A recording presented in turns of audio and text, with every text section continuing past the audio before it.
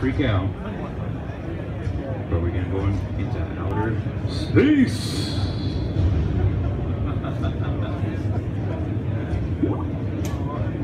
Zero gravity. So if you like, you go hold on to your controller when you use that object. Come that's right, yeah.